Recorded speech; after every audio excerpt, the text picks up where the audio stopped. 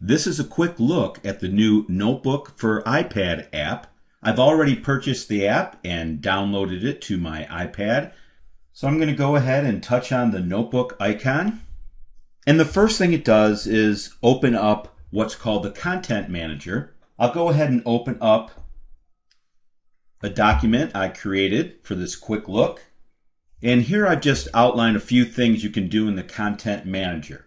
You can open existing files, you can delete files, create new files, and rename files.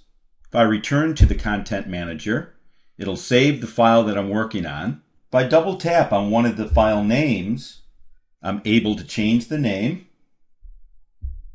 And if I want, I can touch on the Edit button in the top left and then select the different files that I want to delete and then just hit the trash can in the upper right part of the screen. I'm not going to delete any of these files, so I'm just going to touch on the Done button. Let me open back up the file I'm using for this quick look, and let's take a look at the parts of the app. Inside the app, you have four main areas. The work area, which is where all your objects go. You also have a page scroller area on the left hand side, which allows you to scroll through your pages. You have a menu bar at the top for sharing or returning to the content manager or undoing the last action. And you have a toolbar at the bottom, which allows you to add different objects or select objects or move between pages. In the page scroller area, you're able just to scroll through the different pages in a notebook file. And if you touch on one of the pages, it'll jump directly to that page. You can also add pages and delete pages with the icons at the bottom of the page scroller.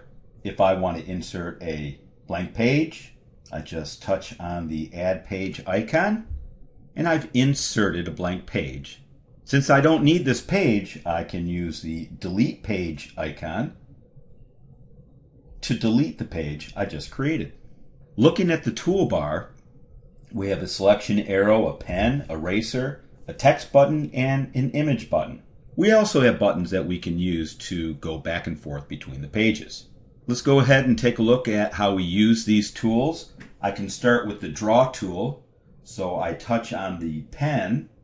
Now that that's selected, I can go ahead and just touch on the iPad and draw anything I want. If you touch and hold on the pen tool, you do have a pop-up option screen which allows you to change colors or switch over to a highlighter pen.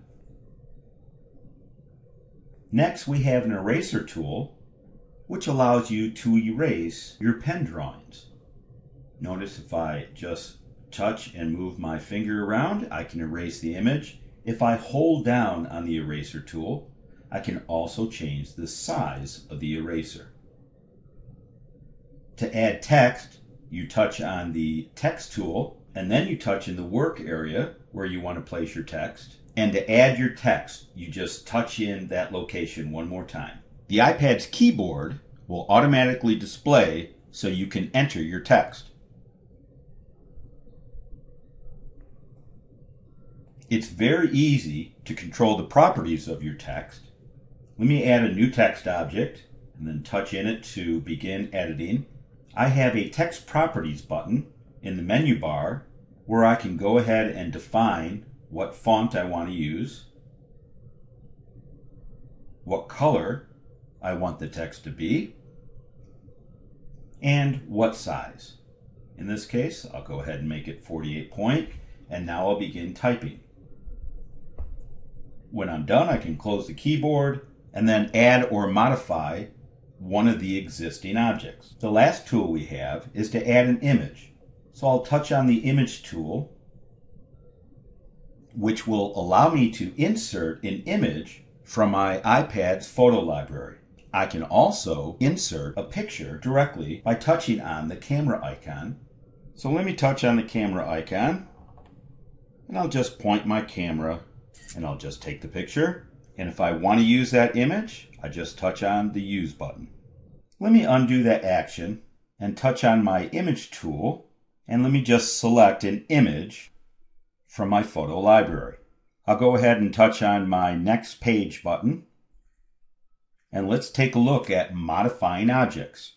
Once you have objects on the page, you can move them around, you can rotate the objects, resize them, delete them, turn them into an infinite cloner, and you can even attach sound to an object. So let's take a quick look on how that's done. I'll return to the previous page, and I'm just going to touch on my image object, and I'm just dragging it to an area of the workspace. I can touch and move my finger to rotate the image. I can touch and drag to move it, and then touch and drag on the resize handle to enlarge the image. This works the exact same way for your pen drawing objects and your text objects. If you touch and hold on an object, you'll get options for deleting the object, turning the object into an infinite cloner, or attaching a recorded sound. I'll go ahead and delete the object. I'll touch on my working with text text object. I'll touch and drag the resize handle to make it a little bit bigger. To edit an existing text object, you double tap on the text object and then touch in the text object to go into edit mode. And then you can touch where you want the cursor to be.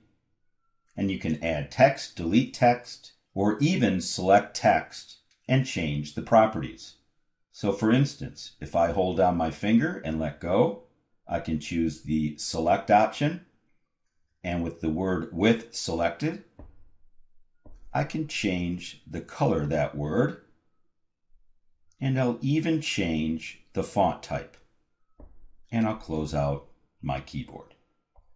Another thing you can do with objects is attach a recorded sound. I'll demonstrate by selecting my attach sound text object, and then if I just hold down on that object, I'll get an option for add sound. So I touch on that button. It's now waiting for me to record a sound and attach it to that text object. So I'll touch on the record button, attach sound. After I make my recording, if I like it, I can go ahead and just touch on the add button and you'll notice that a corner audio icon appears on that text object to show that there's an attached sound. The last thing I'll do is show you how easy it is to download a smart notebook file from the internet. So I'm returning to my notebook content manager and then I'll leave the application and go into my Safari browser. Here's a file from the Notebook Gallery website called Drag and Drop. I'll go ahead and touch on the Download File button, and now I'll go ahead and open a notebook. It'll convert the file so it can be read on the iPad, and then I can use the application. To share a file, all you need to do is touch on the Share button at the top right of the screen and then touch on Email Current File, which is currently the only option available. It saves the file and then uses my iPad's default email account to send the file. The file is already attached, so all I need to do is enter the email address in the to field and then touch on send. Let me cancel this and delete that draft and return back to the Notebook Content Manager. I hope you've enjoyed this quick look at the new Notebook for iPad app.